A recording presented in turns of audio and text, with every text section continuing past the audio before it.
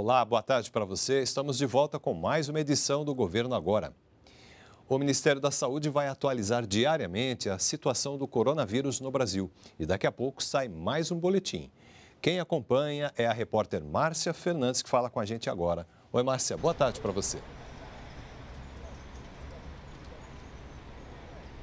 Boa tarde, Roberto. Boa tarde a todos que nos acompanham. Pois é, está previsto para agora, às quatro da tarde, uma conversa entre técnicos do Ministério da Saúde e jornalistas sobre a situação dos casos suspeitos de coronavírus aqui no Brasil. Até o momento, são oito casos considerados suspeitos. Eles estão nos estados do Rio de Janeiro, São Paulo, Minas Gerais, Paraná e Ceará. Aquele caso que tinha suspeita em Santa Catarina já foi descartado pelo Ministério da Saúde. E todos esses casos são de pessoas que estiveram na China ou tiveram contato com alguém que esteve lá. O Ministério da Saúde, como você disse, Roberto, a partir de agora vai divulgar diariamente boletins diários como, sobre como está a situação desse vírus aqui no Brasil. E olha, sempre vale reforçar, o Ministério da Saúde está fazendo esse pedido. Quem puder é, evitar ir até a China nesse período, é melhor evitar para não ter contato com esse vírus. Voltamos com você, Roberto. Muito bem lembrado, Márcia. A gente fica aguardando então novas informações aí. Muito obrigado, boa tarde.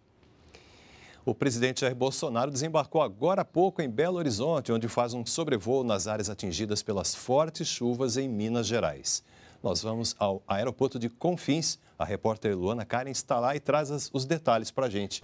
Oi, Luana, boa tarde para você. Olá, Roberto, boa tarde. Boa tarde a quem nos acompanha aqui na TV Brasil. Pois é, o presidente Jair Bolsonaro chegou ao aeroporto de Confins por volta das duas da tarde.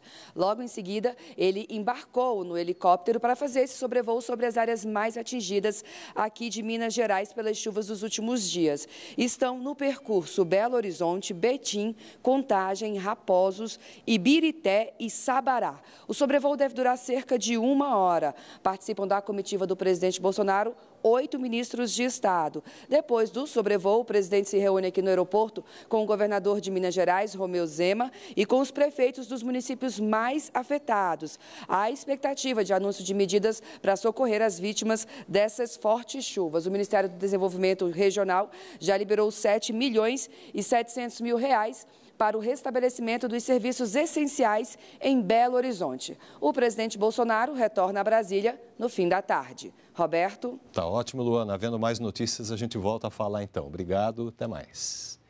A gente fica por aqui. Nos vemos na próxima edição. Até lá.